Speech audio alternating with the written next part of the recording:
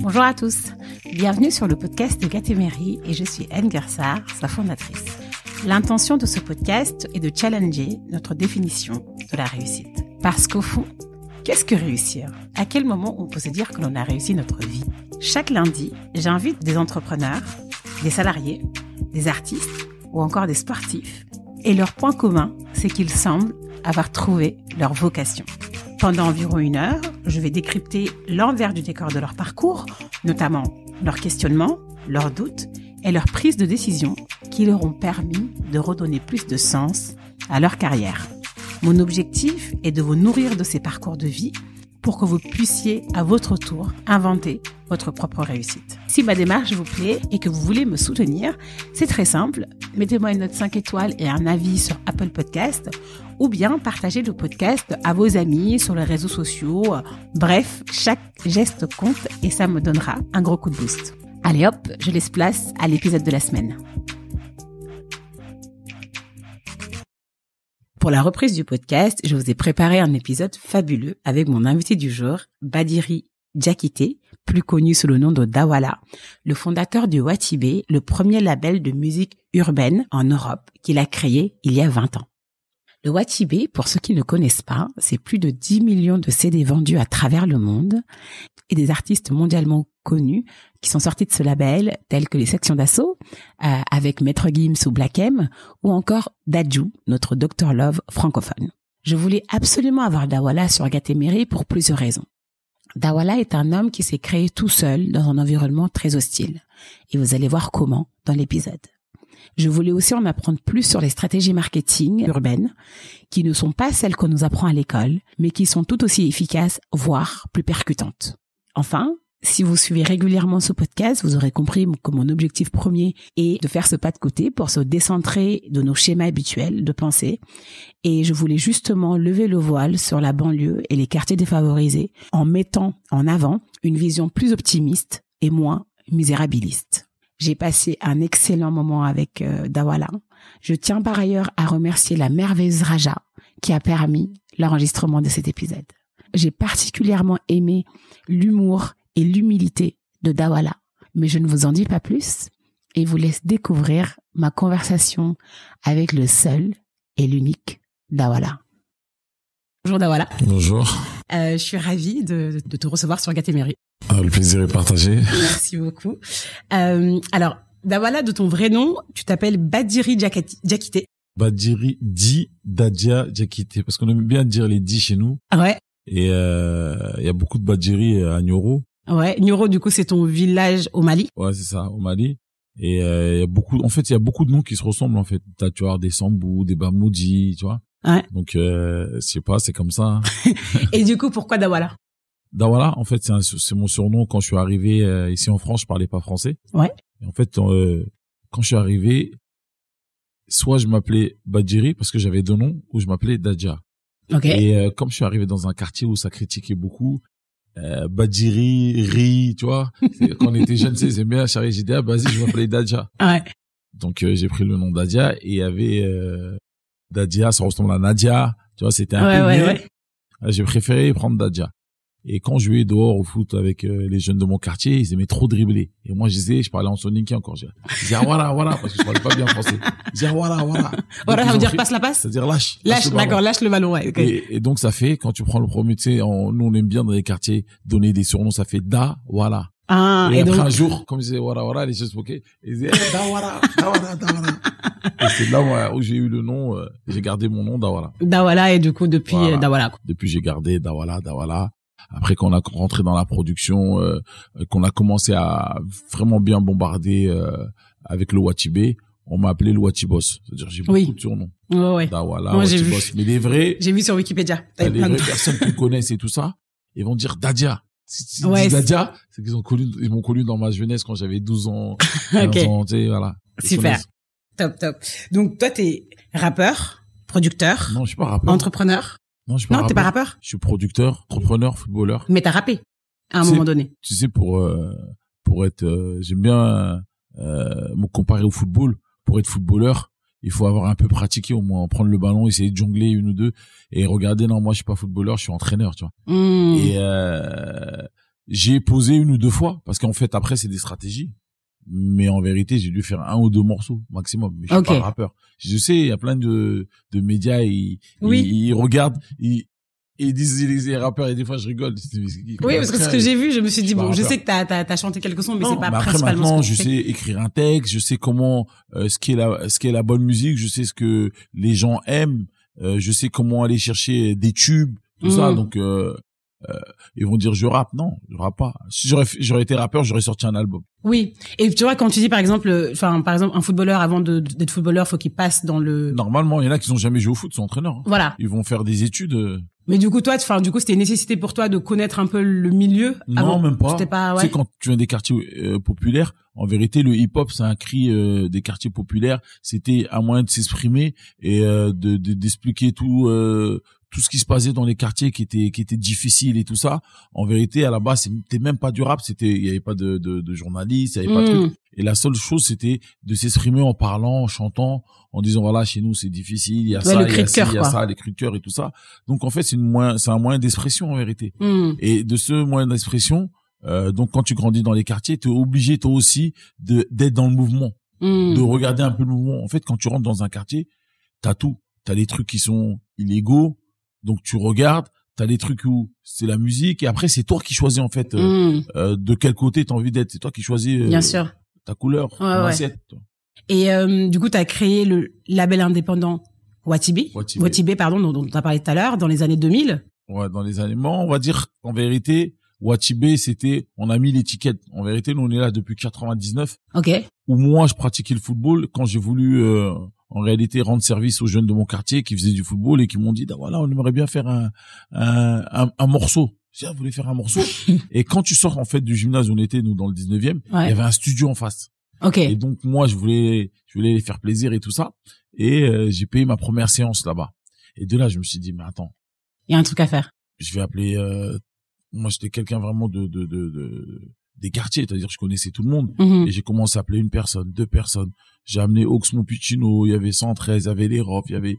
Ouais, t'as t'as pu vraiment fédérer, quoi. Voilà, on a fédéré ce truc. Et ce qui était bien, c'est qu'on a mis un concept. Et c'est ça qui a tout changé. Le concept, euh, c'est qu'on a mis pur son ghetto. Mhm. PSG. Donc on a mis avec les couleurs de Paris Saint-Germain. Mhm. Ce qui aujourd'hui se fait avec euh, Marseille, organisé, tout ça. Mais nous, on l'avait fait déjà en 99. Ok. On avait déjà fait ce... ce, ce- ce- ouais. et donc, en, en venant avec ces concepts-là, mon nom, il a commencé à sortir un peu. en réalité, Mm. Parce que à Châtelet, ça vendait bien. On a fait le volume 1, volume 2. Et après, il y avait Intouchable, des RY, Ouais. et euh, qui joue au football, et euh, qui cherchait un producteur. De là, avec euh, ce que j'ai fait, ils m'ont demandé euh, de, de, de les produire. Mais qu'est-ce qui a changé Enfin, par exemple, tu vois, quand tu dis, t'as as fédéré en fait plein de plein de rappeurs de différents milieux, on va dire.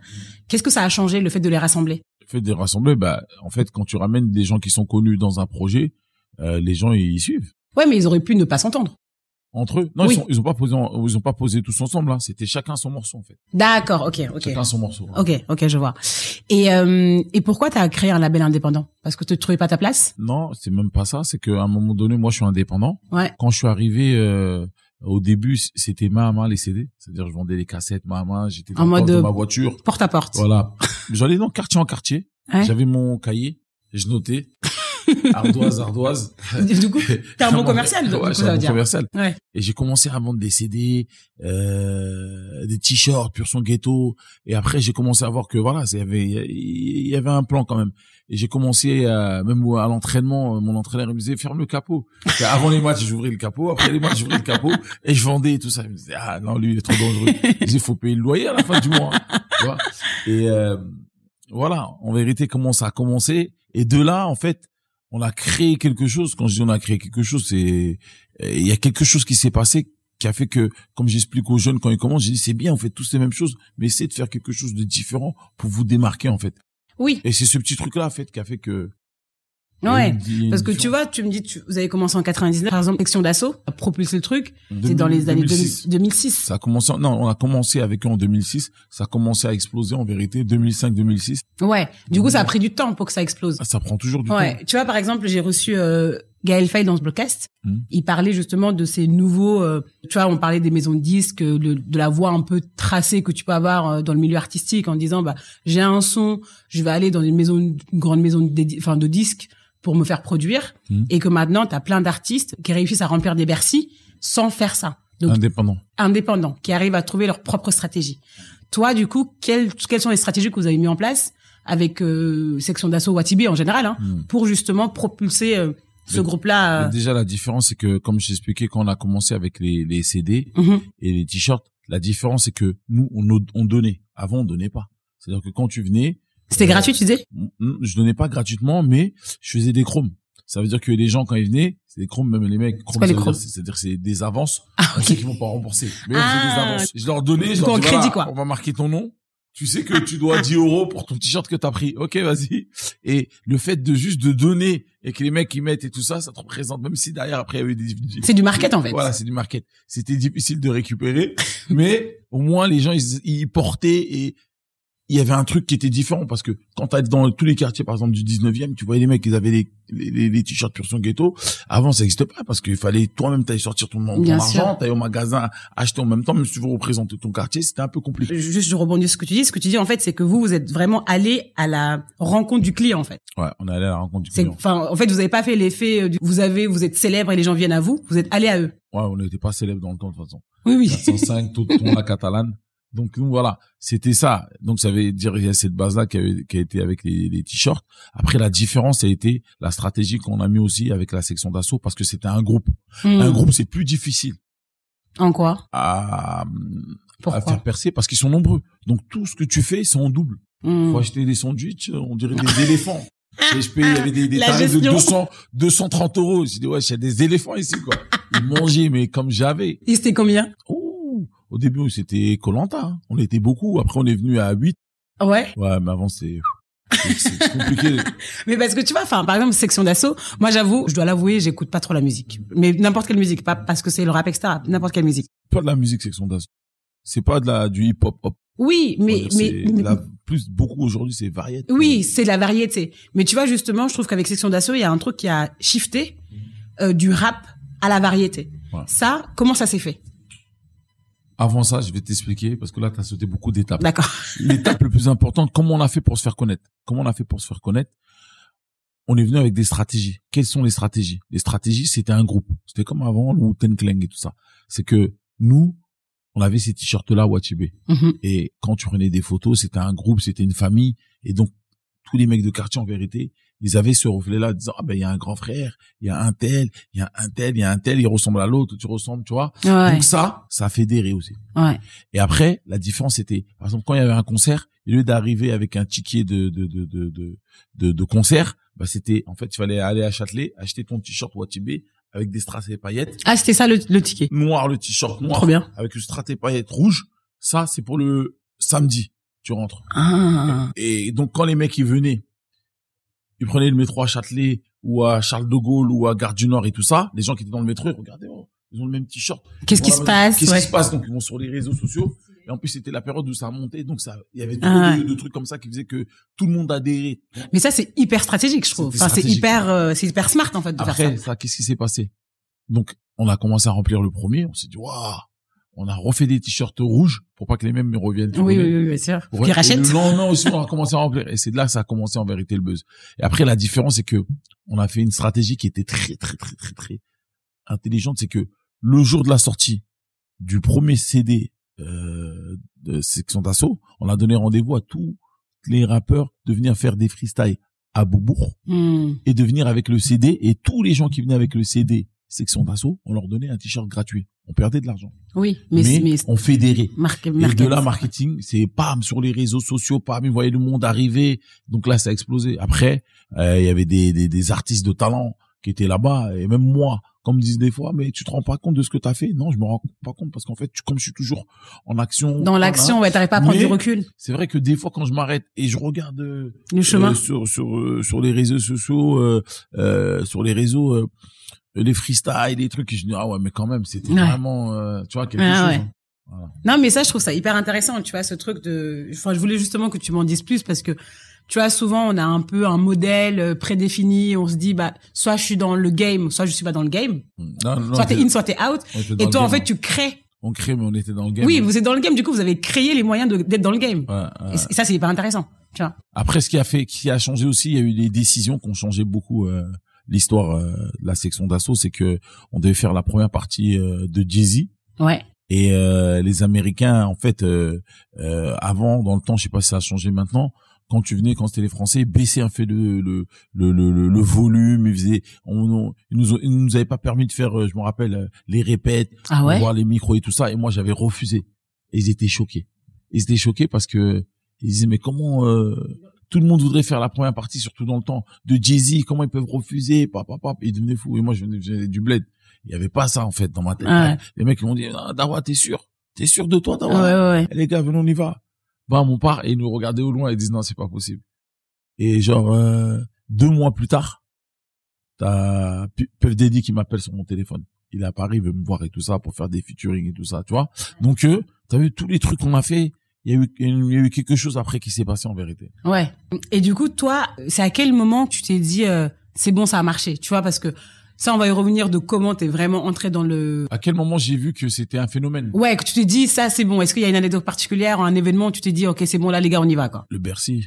Ouais. Quand tu rentres dans un Bercy, tu vois ton truc plein comme ça, à craquer. Tout le monde connaît les sons, tout le monde est habillé en Watibé avec les trucs et tout. ça. C'est énorme, Ouais. c'est énorme. Là, le label Watibé, c'est un des leaders aujourd'hui. D'après toi, quels sont les facteurs clés de réussite? Qu'est-ce qui a fait que que ça a marché? Tu me parles des stratégies, hein, ça d'accord? On a fait des stratégies. Après, je pense qu'on a pris les bonnes décisions au bon moment. Ok. Euh, Comme quoi? euh, Fusionner au début avec euh, Sony. Ouais. Euh, les bonnes décisions, comme je te parlais, au niveau de Jay-Z pour pas faire le truc, au niveau des morceaux. Voilà, on a pris les, les on a pris les bonnes décisions, je pense. Ouais. fait que le Watibé euh, arrive à rester.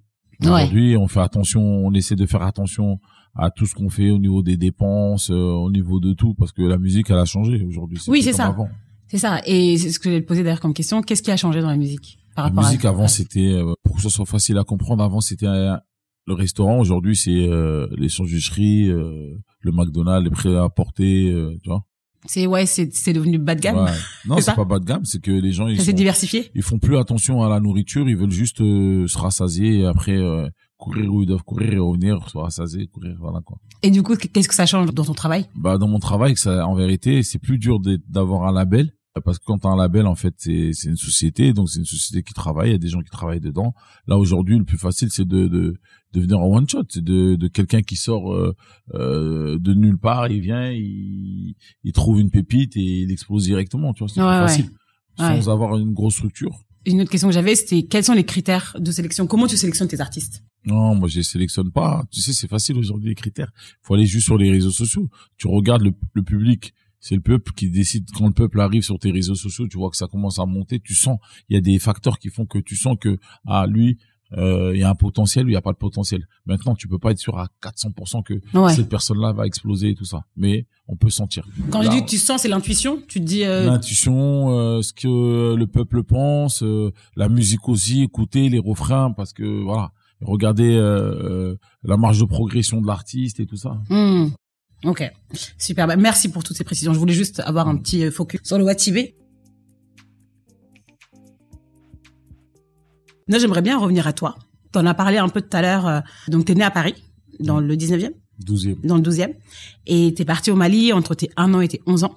Je suis Au- parti à l'âge de 11, euh, de un an. Un an, Ouais. voilà, jusqu'à 11 ans, donc 10 ans au Mali quand t'étais petit.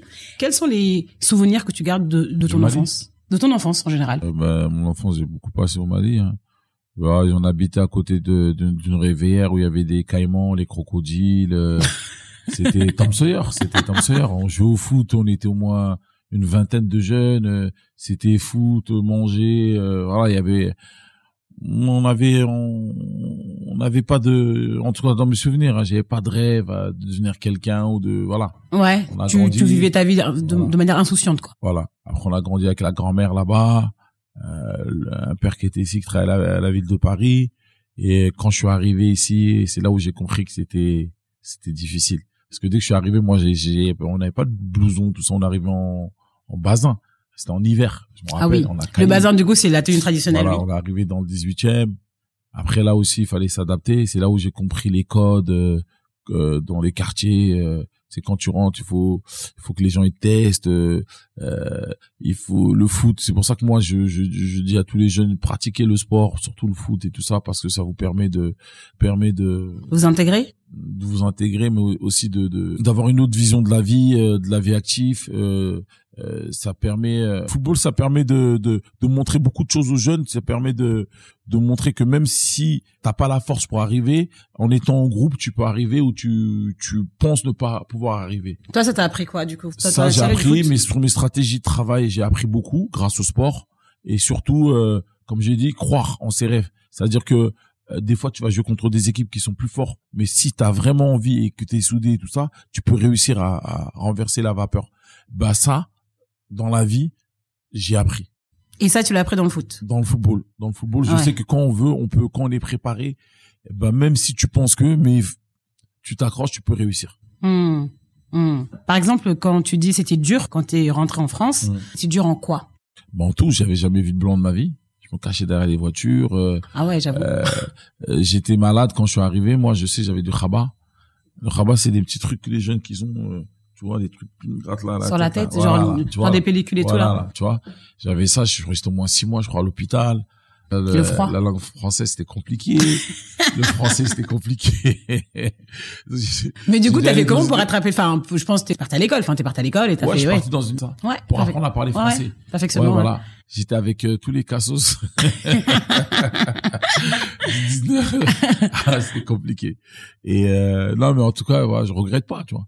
Ah je ouais. pas, je me suis adapté. Après, les gens, c'est vrai, quand ils parlaient avec moi, ils disaient, ah, mais, non, voilà, t'as pas, t'as pas d'accent, toi. Oui. Du bled. Un Oui. blédos, mais t'as pas d'accent. je suis pas un blédos, hein. Bah oui, on- Degré. Je en parle soi, la langue oui. de Molière.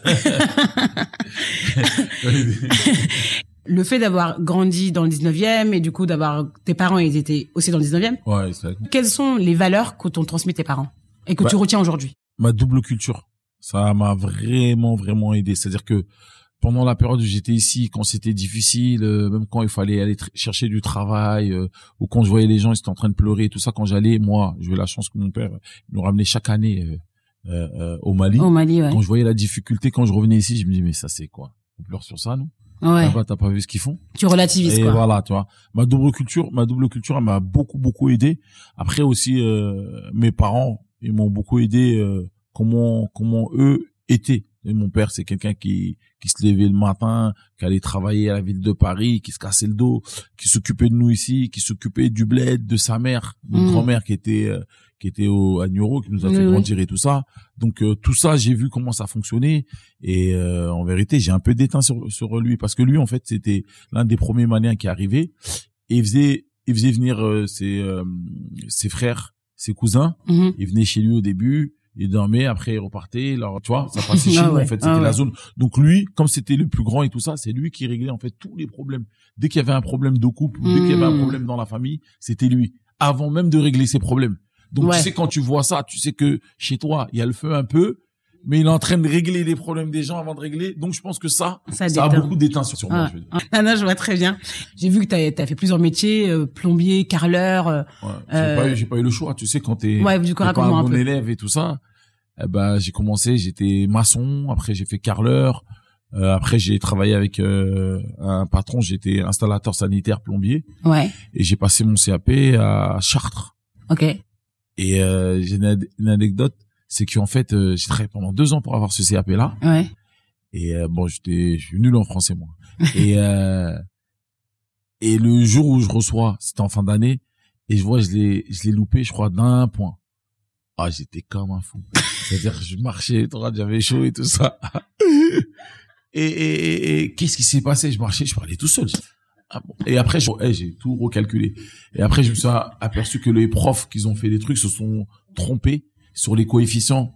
Euh, parce que moi, je suis fort en maths, j'aime bien compter. Et ils se sont trompés. Eh, je rigolais, eh, je rigolais tout seul. Ils se sont trompés. Tac. Après, j'ai eu la chance d'avoir euh, eu euh, mon diplôme. Franchement, c'est c'était lourd. Trop bien.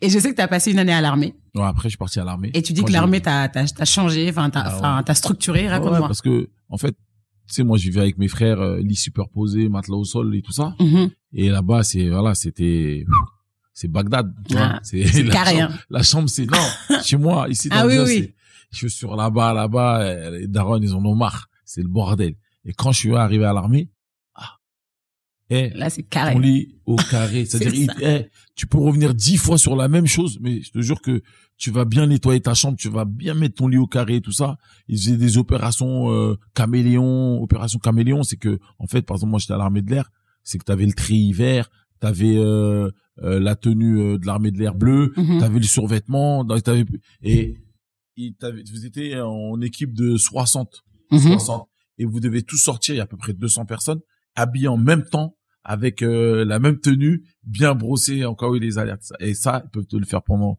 2-3 heures. C'est-à-dire, ils commencent à 22 heures, ils peuvent finir à minuit. euh, Et c'est quoi? C'est en gros, vous le faites, et s'il y en a un qui rate, Dès vous qu'il y en a un retournez qui rentre sur vous tous, ça vous êtes 200, ils prennent le chrono, t'as 1 minute 30 pour te représenter devant la maison et en tenue, en ligne, bien habillé.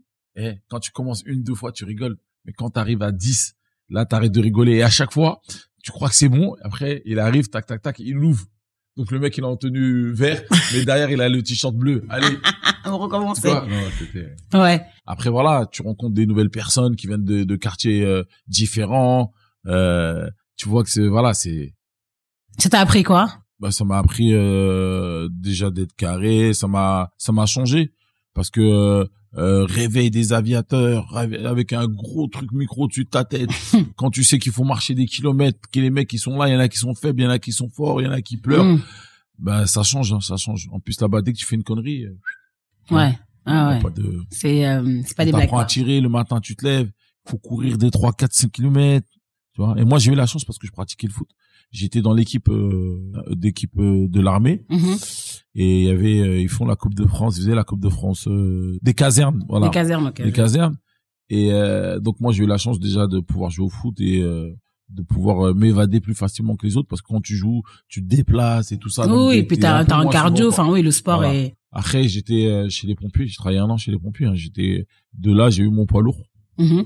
Et après, j'ai été validé. Après, quand je suis sorti aussi, j'ai changé un peu. J'étais chauffeur poids lourd euh, chez Gravelot. Mhm. En même temps, je travaillais, je jouais au foot. Donc, j'étais semi-pro. Donc en fait, ta carrière, oui, ta carrière de fois, c'était une vraie carrière sportive. Enfin, Ah ouais, de- oui. ouais. Franchement, j'ai eu la chance, euh, à quoi, à 18 ans, je jouais déjà en N3. En, euh, Mm. en, en national, ça s'appelle. Ouais, ouais, je vois. Hein, Pourquoi t'as pas continué dans le foot? Bah, en fait, à un moment donné, tu prends de l'âge. À un moment donné, euh, t'as le choix de, de, de carrière. Après, maintenant, tu peux pas faire les deux à la, à la fois. C'est compliqué. Il faut Mm. dormir quand t'es un vrai footballeur. Tu veux faire une vraie carrière et tout ça. Et après, voilà, quand j'étais à Noisy-le-Sec, après, j'ai vu, je prends de l'âge. Une carrière, c'est, quand t'as 20 ans, il faut compter. Dans le temps, c'était 31 ans, tu vois. 10 ans. Donc, euh, Mm. carrière de producteur, tu vois. Depuis 99, je suis là. Ouais, c'est ça. Voilà. C'est ça. Euh, tu vois, enfin, dans le podcast, il y a une notion dont je parle toujours, c'est la traversée du désert. C'est le moment où c'est galère, tu vois. C'est vraiment où tu t'es pas bien, où tu te dis où est-ce que je vais? Euh, Quand tu étais par exemple à l'armée, est-ce que tu avais une vision de ce que tu voulais faire? Non, je savais pas ce que j'allais devenir, ce que j'allais faire. Et à quel moment il y a eu ce changement, ce déclic où tu... ce changement il est venu euh, au gymnase quand, quand je m'occupais parce que je pratiquais le foot et en même temps euh, euh, j'étais on va dire en- entre guillemets éducateur euh, dans mon quartier pour les jeunes, ouais. pour les jeunes et euh, euh, moi en voulant aider les jeunes de mon quartier je suis tombé en fait dans euh, on va dire dans la production en vérité En- au début, ils ont voulu faire un son, tu les as aidés. et, et de là- j'ai voulu faire euh, euh, un- une mixtape et de là bam c'est parti l'aventure elle est partie Hmm. parce que en posant déjà la première pierre, les gens ils ont vu que c'était bien posé, ils ont vu que c'était carré et tout ça. Eh ben ils ont dit ouais ben ça a l'air d'être un mec sérieux et tout ça et de là ça a commencé, ça a commencé. Et les gens me connaissaient déjà par rapport à Pur Son Ghetto. Pur Oui. Son Ghetto dans le temps, c'était vraiment vraiment côté. Ouais. Et du coup, t'as lâché le foot, t'as lâché tout le reste, tu te focaliser Ouais. sur ça. Ouais, ouais. Après j'ai lâché un peu le foot, j'ai lâché même beaucoup. Après j'ai quand j'ai commencé en 2005 avec Intouchable, ça bah là vite fait de temps en temps ça jouait à Bobigny mais j'avais un peu on va dire j'ai lâché. Hmm. Et après, euh, ça m'a pris plus de temps, la musique. euh, donc après, voilà, ça a vraiment lâché. Pourquoi ça t'a pris plus de temps? Bah parce que euh, il faut très, il faut travailler euh, euh, les stratégies, il faut travailler les morceaux, il faut ramener les gens en studio, euh, il faut aller chercher l'argent pour les ramener en studio, il faut investir, il faut, il y a plein de choses à faire. Mais ça, du coup, enfin, donc ça, c'est une question que je me posais. Tu vois, en gros, tu te, tu te crées un business seul, tu Mhm. vois? Tu pars de rien, quoi. Tu, tu commences par un son et puis ça monte. Euh, au fur et à mesure, comment t'apprends tout ça, tu vois? Parce que pour créer n'importe quelle entreprise, il faut, tu vois, tu le dis, il faut investir, faut se connaître en business. Mais je, je, je vois que tu connais bien les chiffres, donc toi, le business ça te fait pas peur. Mais tu vois, juridiquement parlant, Mhm. comment tu t'entoures, tout Ah ça, non, comment tu l'apprends? J'ai pris des claques. Juridiquement parlant, j'ai pris des claques. Comment tu l'apprends Tu Je vois, je l'ai appris quand je me suis fait punir. dans le dur. dans le dur, dans le dur, très très dur. Parce que moi, quand j'ai commencé euh, les premières années, tu sais que euh, avec Intouchable, euh, on avait pris une avance. Et euh, mais moi, je savais pas. Il fallait payer euh, un pourcentage après à l'État. Il fallait trucs. Bah ouais. Donc, euh, on s'est fait punir. C'est là que j'ai compris que en fait, euh, j'ai mal fait mes calculs. En fait, quand t'as quand t'as 10 euros, bah, il faut que tu laisses 4 euros minimum de côté. À l'État, oui, c'est ça. Parce qu'ils viennent pas maintenant, ils viennent un an après C'est ça. quand t'as commencé à hein, Parce que t'as déjà tac, consommé. tac. et quand ils taquent, ils ne demandent pas les 40%, ils demandent les 40% plus les 30% de de de, de pénalité. De pénalité, ouais. Donc tu vois, Et ça, tu savais pas, toi, en fait? je savais pas en fait, non, je savais pas. Je savais pas parce que c'était la première fois en fait, euh, j'ouvrais une société et et, euh, et voilà, mais j'ai bien appris. Ouais. C'est qu'en fait, oui, c'est ça. J'ai très très bien appris. Et euh, donc ça, c'est. J'ai appris tout sur le tas en vérité. Oui, t'as tout appris sur le tas. Quand je fais les contrats ou euh, ou quand je paye, tout tout tout, j'ai appris comment ça fonctionnait. euh, euh, les avocats, comment ça fonctionnait, euh, ben, les, les grosses majeures, tout ça, j'ai tout appris sur place. Et, et pour ça, j'ai dû prendre des claques. Et tu sais, quand tu prends une claque sur une joue, t'as plus envie. Tu, Ouais, tu te tu- rappelles tu- que là-bas à droite, tu- ce ouais, bouton-là, tu- quand t'appuies, T'as la flemme de tendre la joue gauche, quoi. t'es producteur, mais aussi t'es, t'es aussi un grand entrepreneur. Ça Ouais. aussi, faut quand même le dire. bah, entrepreneur, producteur, c'est un peu un Oui, mais ça tu fais d'autres trucs à côté, non? Oui. Oui, oui. En fait, moi, je me compare beaucoup au football. Ouais, Tu vois, bah, quand ouais. je vois un triangle, je fais un triangle et sur le triangle, il y a trois côtés. Donc sur le premier côté, je fais de la production, Mhm. l'autre côté, je fais le textile et l'autre côté, admettons, je fais du cinéma ou euh, je m'occupe des sportifs. Donc quand par exemple la production ça fonctionne bien, t'alimentes les autres. Demain Mhm. quand ça va moins bien fonctionner, les autres vont aider à, à- à alimenter. Donc plus t'as de secteurs, mieux c'est. En cas où il y a un problème, aujourd'hui, t'as vu le Covid. Ouais, tu mets pas tous les autres dans le, dans le même panier, voilà. quoi. Aujourd'hui, avec le Covid, tous ceux qui ont investi dans la restauration, les mecs qui ont ouvert les chichas, les trucs, s'ils ont pas les reins solides, c'est compliqué. Clairement. Donc il faut, voilà, faut réfléchir comme ça en fait. Mais comment tu fais pour gérer ces trois-là? C'est dur quand même, tu vois. J'ai la de chance d'avoir des Raja, des Haruna, des gens qui travaillent avec moi, qui ont été formés ensemble et tout ça, et qui regardent comment je fonctionne, que eux ont fait ces études-là que moi j'ai pas fait, et en même temps, en vérité, on est, euh, Ouais, est c'est une, est- une team, quoi. Voilà, c'est la- c'est la team. Tu dirais, du coup, qu'il est important de bien savoir s'entourer. Ah ouais, c'est important. S'entourer, mais aussi euh, s'entourer des bonnes personnes. Parce Oui. que tu peux t'entourer avec des gens qui sont euh, que avec qui tu as besoin, mais si c'est pas compatible, à un moment donné, tu te retrouves dans un truc où toi-même, dans ton propre vaisseau, t'es concurrent. Bien sûr. Donc t'es mort dans le dessin animé. Complètement. Complètement. Donc, tu, enfin, tu me disais tout à l'heure que, que t'aidais euh, les jeunes euh, des banlieues. Tu les aides en quoi et... Ouais, des jeunes de, de banlieue, euh, de, de quartiers défavorisés, euh, jeunes de Paris, bah en fait eux, à l'âge qu'ils ont 15 ans, moi je suis déjà passé à cet âge-là, j'avais déjà cet âge-là, je veux dire.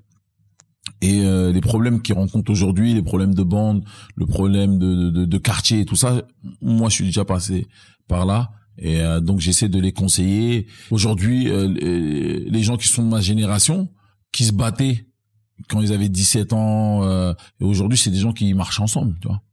Et il y en a qui marchent ensemble. Aujourd'hui, il y a plein de gens qui qui manquent à l'appel.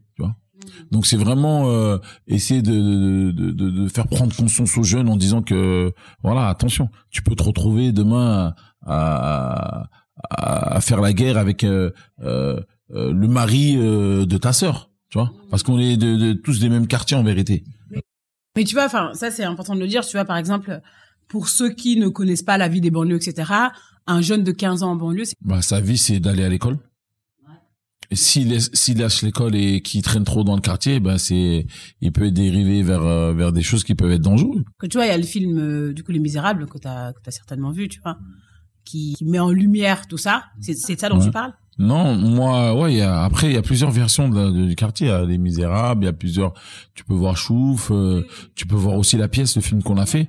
C'est un autre truc, une autre vision. Nous, on, moi, personnellement, je suis parti plus sur euh, une vision de film où, euh, où, euh, en vérité, je dis aux jeunes, quand tu donnes la chance de vouloir réussir, tu peux réussir parce qu'en vérité, dans chaque personne, il y a quelque chose. Il y a, une, ADN que les autres n'ont pas. C'est-à-dire là, c'était au niveau de la pièce, c'est-à-dire c'était un clochard qui était en bas mais qui était habile. Il venait dans le quartier et jouait au plus près du mur. Et là, il gagnait, gagnait, gagnait. Il a réussi à s'habiller, manger. Et de là, il a essayé d'aider le quartier et tout ça. Mais à la base, il partait de rien du tout. Il était tout en bas. Donc, c'est en fait, c'est une leçon de vie en disant, hey, crois en tes chances et tu peux réussir. Donc, ça, t'as cette, t'as cette vision-là, t'as l'autre vision, ouais, c'est le quartier, c'est la drogue, c'est les flics, c'est ça, c'est ça, ça, c'est ça, ce qui est réel aussi. Mais t'as plusieurs versions et t'as plusieurs façons de réussir.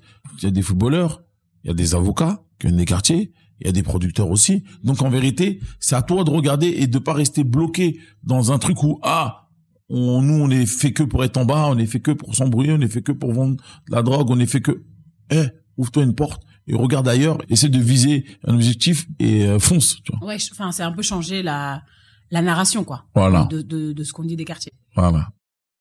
Et euh, tu as aussi une association au Mali Ouais. euh, qui te tient à cœur, hein, tu fais plein de trucs. Quelle est sa mission? La mission c'est d'aider les jeunes, de rester en contact entre la France et le Mali. Mhm. Euh, notamment sur euh, dans la musique. On a réussi à ramener euh, huit soldats à Bercy. On a réussi à ramener des artistes de chez nous ici chanter à, ch- à chanter à Bercy. On a réussi à ramener quelques jeunes euh, qui pratiquent le football à faire des essais un peu dans deux trois clubs ici. Et Mhm. avec cette expérience-là, ils vont là-bas, ils sont contents.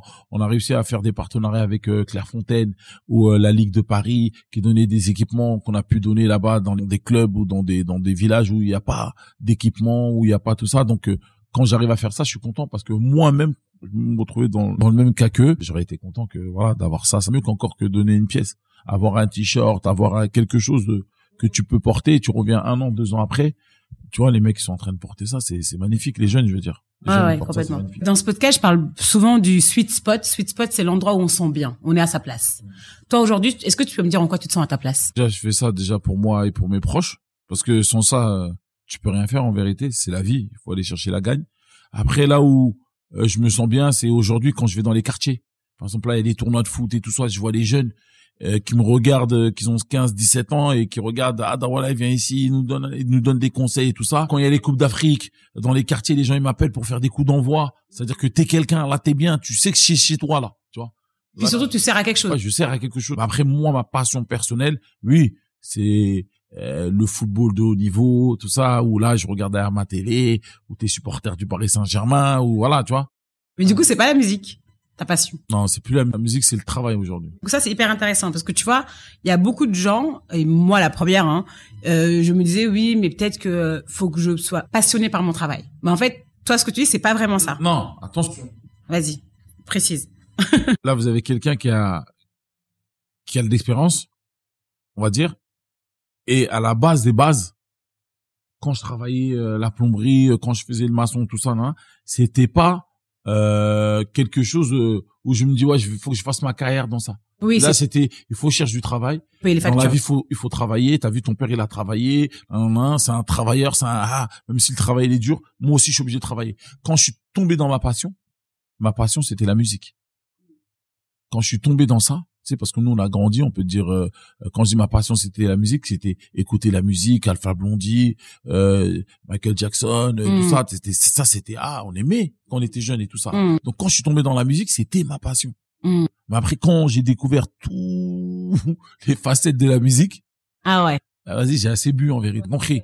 t'as fait le tour quoi. Voilà, j'ai fait le tour. Mm. C'est-à-dire qu'en vérité, euh, j'ai plus d'amour. Pourquoi? Parce qu'en fait, t'as vu, quand t'aimes quelqu'un qui fait de la musique, tu aimes sa musique.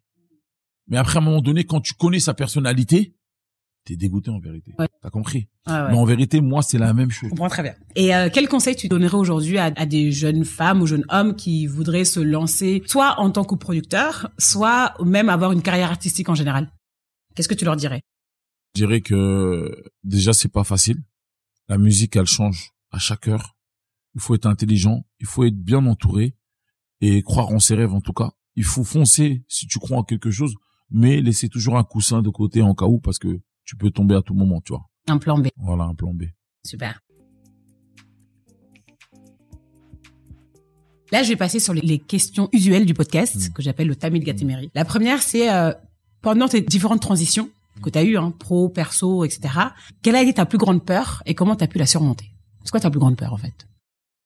Non, j'ai j'ai pas j'ai pas de souvenir d'avoir eu peur T'as pas peur? Parce que je suis un kamikaze. C'est-à-dire que moi euh, quand je vais quelque part, quand je crois à quelque chose, je fonce, tu vois. C'est-à-dire, je me dis quelque chose, j'y vais. Mais je me suis ramassé des murs. Ouais. C'est sûr. Mais quand je crois en quelque chose et tout ça, je fonce. C'est que les gens, ils comprennent pas des fois. Ah, il y a un mur, arrête. Non, non, t'inquiète, c'est sorti là-bas. Tu cognes le mur. voilà. Ok. Quelle est la leçon de vie que tu as pris le plus de temps à apprendre? La leçon que j'ai appris, c'était la première leçon en vérité, c'est que quelqu'un qui a de l'expérience, en vérité, euh, c'est un prix.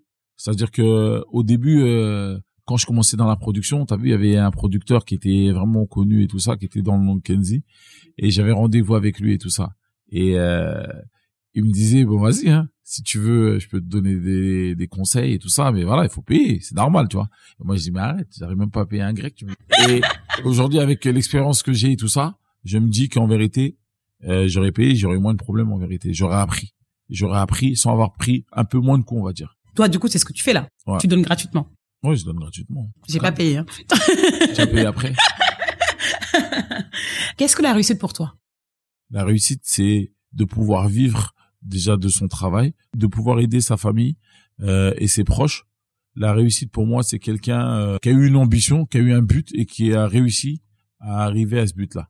Hmm. Mais le problème de la réussite, c'est c'est complexe en vérité. Ça veut dire il peut avoir une réussite et derrière il peut avoir une défaite derrière tu peux tu peux tomber tu peux, tu peux réussir quelque chose et du jour au lendemain tu peux te retrouver à terre en vérité donc la réussite pour moi en vérité c'est pas d'arriver mais c'est de rester mmh. Ok. D'où ce que tu disais tout à l'heure par rapport au plan B. D'avoir toujours un plan B, euh, B, C, D, jusqu'à X. jusqu'à Z, pardon. euh, comment est-ce que tu progresses de manière personnelle? Qu'est-ce qui te fait progresser tous les jours? Moi? Ouais. Ah, j'ai la dalle. Ouais. Je suis quelqu'un, franchement, je me mets... Euh, je suis un, je suis un, je lâche pas, je lâche pas. Je suis quelqu'un. Quand j'ai envie d'arriver quelque part, euh, je me motive, je me motive moi-même et vas-y, je fonce. Et c'est vrai que les gens ils doivent se dire, ah, ça fait longtemps il est là, il est encore là, il est actif et tout mmh. ça. Je suis quelqu'un, j'aime pas perdre. Mais d'où ça devient ça? Ah, ça, c'est compliqué. Peut-être ma mère, j'aime pas perdre. Non, mon père, il était, c'était quelqu'un qui était sage, il était truc. Euh, ah, j'aime pas perdre. Quand je vais dans un domaine, j'ai envie d'être le numéro un j'ai envie d'être le numéro un. Je suis comme ça.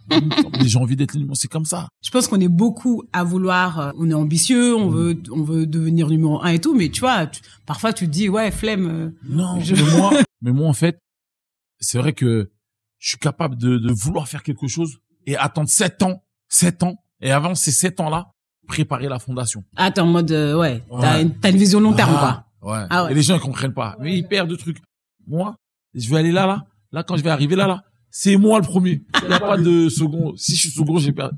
Pour moi le premier. Donc dans ma tête à moi, c'est, je suis obligé. C'est comme ça. Et ma force, je pense que ma force et ma faiblesse, c'est la même chose, c'est la gentillesse. Et la force que j'ai, c'est qu'aujourd'hui, je sais me servir de mon outil. C'est-à-dire mon outil aujourd'hui, c'est de dire, eh, l'autre il est là, il vient du bled, il est pas trop fort. Je fais le bête, tu vois. Mm. Et je regarde comment ça fonctionne. Et là, oui, hmm. qu'en fait, je suis pas bête. Tu vois, je veux dire. Va très bien. Et euh, quelle est la valeur la plus importante pour toi? L'honneur. L'honneur? L'honneur, c'est important. L'honneur, c'est c'est c'est important l'honneur. Pourquoi? Parce que en fait, tu vois, tu représentes des des, des personnes, on représente des gens. Mm-hmm. On représente des, moi je représente mon père, ma mère, je représente euh, un pays, je représente un quartier, je représente donc l'honneur pour moi c'est important. Mm. Et l'honnêteté. L'honnêteté pourquoi? L'honnêteté parce que en fait euh, euh, moi je suis capable de donner beaucoup pour quelqu'un ouais. tu vois et donc euh, si je me sens trahi bah vas-y je suis un peu dégoûté en vérité hmm. parce que en fait je suis quelqu'un qui comme j'ai dit je fais dans le business les gens vont dire ah il est compliqué mais est-ce que je peux prendre dans le business je peux tout donner de l'autre côté en en fait t'es es vraiment très intransigeant en business parce que c'est le business c'est le game hein. Ouais, c'est le game. Mais à côté oui tu peux euh, être hyper généreux et tout. Trop bien. Est-ce que tu as un mot de la fin, quelque chose que tu aimerais dire aux auditeurs, euh, euh, un conseil particulier, euh, une chose qui te tient à cœur qu'on n'a pas dit, que tu aimerais dire? Non, Je pense que il faut croire en ses rêves, il faut foncer. Et comme j'ai dit, la réussite, c'est pas d'arriver, c'est de rester. Après, c'est vrai que c'est facile. Aujourd'hui, les gens vont dire, ah, mais lui, il peut investir lui-même. Mais avant, non, je pouvais pas investir. C'était vraiment compliqué, tu vois. Hmm. Et voilà, on n'est pas arrivé comme ça. Hein il y a eu de la souffrance. Il faut pas croire que quelqu'un qui, euh, vous voyez, il a réussi, euh, il est arrivé comme ça, euh, Euh, non, il n'y a pas de cuillère en or, moi. Mais ça, du coup, ça n'a pas assez parlé, tu vois, de Euh. la de la galère. on, a, on a galéré, on a galéré. Mais raconte, t'as des anecdotes particulières? La galère. Ouais, Ah ouais, on a tellement galéré, on a tellement, eh, mais raconte. on mangeait au foyer, on mangeait au foyer malien, à côté de chez moi. Ah ouais. Et t'es avec des gens, on est arrivé là-bas, euh, il y a que des anecdotes, on était avec moi, un gars, un pote à moi à Chacour. Il est arrivé pour la première fois au manger. Il a mangé son assiette et, et il disait, il allait voir la dame qui servait. Et je peux en avoir? Je dis, ouais, je crois que c'est la cantine ici. quoi. Il y a pas de rap, tu payes. Il y a pas d'arabe, tu payes, ouais. Donc il y a ça. Après au foyer il y avait des, des rats. Un gars, il y a un pote à moi, il voulait toucher avec un. Je touche pas, tu vas attraper Ah, une maladie. Et de là on l'appelait maladie. Elle a des enfants et tout ça. Dès que je le vois, je l'appelle maladie. Il y a que des anecdotes comme ça. Quand on commençait et tout ça, c'était difficile. T'as vu quand t'es avant d'aller à l'armée et à 16 ans, euh, on dit ah il y a pas d'argent, on est en galère. Regarde là-bas. Les autres, ils sont en grosse voiture. Regarde là-bas, les mecs sont en truc et Mm. tout ça. Nous, on est sans crème, avec des cheveux gominés. On n'a pas le choix pour se moucher le nez, tout ça. Et là, là, on, on est assis sur une table de, de ping-pong au milieu du quartier. On était comme as, un peu comme la haine. On dit, regarde, la chance quand elle vient, soit elle va à gauche, à droite. T'es en galère. Je dis, eh, vas-y, toi, toi, va à droite. Moi, je vais à gauche. Pour l'attraper, la chance. Donc, on a vraiment galéré. Et même moi, t'as vu, quand je faisais les pursions ghetto, dans le temps, il y avait les CFU, il y avait tout le monde, tout le monde arrivait, pam! Dès qu'ils posaient sur pursion ghetto, pam, ils explosaient. Et moi, j'étais là, je fais, wesh, mais comment tout le monde explose comme ça? Et moi, je suis là. Voilà, on entend la catalane. Et un jour, je suis parti voir un concert d'un des artistes qui a, qui a bien fonctionné, qui avait posé sur la compile. Et j'ai vu, quand j'étais dans son concert, j'ai vu que c'était pas la même chose que quand il était venu me voir et tout ça. Hmm. Et je me suis dit, en fait, c'était pas maintenant qu'il fallait que je pète. Il fallait que je voyais tout ça là pour comprendre. Mon type, faut pas que tu changes quand t'arrives en haut. Parce que ça va vite, l'ascenseur. C'est ce que Et c'est. dis bonjour à chaque étage. C'est ça que je dis. Que tu montes par ces mêmes étages là, là tu vas, Tu vas repasser. Et tu vas avoir les mêmes personnes qui vont dire, hum, descends plus bas. On t'a vu, ouais. C'est la question que j'allais te poser, tu vois, c'est quand t'es vraiment dans la galère et que tu montes, tu montes, tu montes. Mm. Toi, ce que je, ce que, ce que je disais tout à l'heure, hein, il y a ce, quand même cette humilité que tu as. T'as vraiment de l'humilité. Et ça, comment tu fais pour le, pour le garder? Parce que tu vois, c'est pas évident. T'as plein de gens qui montent et qui prennent la grosse tête et qui changent, tu Ouais. vois? Mais pour moi, tu sais, quand tu viens d'un quartier, t'as connu euh, le zombie. Le zombie, c'est C'est du riz au lait. Ah, ah, Le riz au lait, ah, ouais. Quand t'as connu euh, l'eau, l'eau avec du sucre à l'intérieur et du pain dur pour comme goûter. Hum. Quand après t'es arrivé à Besbar, t'as connu là-bas et t'as connu le 19e, t'as connu les trucs, tu sais que tôt ou tard, tu vas redescendre. Essaye Ouais. de faire les bonnes choses. Tôt ou tard, chaque personne qui naît, c'est des personnes qui vont mourir. Chaque Mhm. personne qui monte, hein, Hum. à part que tu sois une grosse structure et que ce soit un truc bien organisé et tout ça, mais on parle de personnes, bah tôt ou tard tu vas redescendre. C'est comme ça. Y a Toi, pas- tu penses que tu, tu penses que tu vas redescendre, euh, tu vas pas rem- remanger du zombie, tu vois? Moi, si je dois redescendre, je fais euh, comme je t'ai expliqué, j'essaie de mettre des coussins. Comme ça, quand je tombe, j'ai pas trop mal. Matelas un peu douillé, quoi. Maintenant, oui, tu vas retomber, mais sur quel domaine? C'est le premier domaine que tu as fonctionné. C'est ça que j'ai expliqué quand je te disais. Mm. Il faut être dans plusieurs en fait euh, domaines pour pouvoir voir quand il y a quand il y a un- quand il y a un domaine qui descend, L'autre domaine peut rattraper. s'en servir pour rester normal ou pour monter. Mais c'est sûr que je peux pas rester euh, euh, comme une major euh, ou comme truc euh, à investir parce que nous on travaille pas avec les banques à investir dans des artistes qui viennent on les prend on leur vend du rêve ils font un morceau ça va pas on les jette on perd de l'argent on arrive quand ça Mm. fonctionne et tout ça je pense pas tu vois Complètement, très clair. Et euh, si les auditeurs veulent te suivre ou te joindre sur les réseaux sociaux, c'est où Dawala officiel sur Instagram Ok. surtout en fait Surtout Instagram. De Snap Instagram euh... ouais c'est ça toute façon, je mettrai tous les liens. euh, super. mais je suis je suis beaucoup sur Insta donc vous pouvez venir Dawala officiel il y a pas de problème Ok, je mettrai le lien. Bah merci beaucoup Dawala. Voilà, C'était le plaisir est partagé c'était un plaisir vraiment. J'ai j'ai appris plein de trucs. après c'est bon Merci. À bientôt. merci Alors, qu'avez-vous pensé de cet épisode? Retrouvez toutes les références dont on a parlé dans le descriptif de l'épisode ou sur le site internet www.gatemery.com. Si vous voulez me contacter pour me donner vos feedbacks, je suis hyper preneuse de feedback, ou bien me poser des questions, ou tout simplement me proposer de nouveaux invités, j'en ai pas mal sur ma liste, mais comme dit l'adage, plus on est, plus on rit, n'hésitez pas à me joindre sur les réseaux sociaux, LinkedIn et Instagram de préférence, sous le pseudo at Gatemery ou tout simplement sur le site internet www.gatemery.com. Je serai ravie de vous lire. Et dernière chose très importante pour moi, et je sais, je, le répète, je le rabâche, mais c'est très important, c'est de m'aider à promouvoir ce podcast.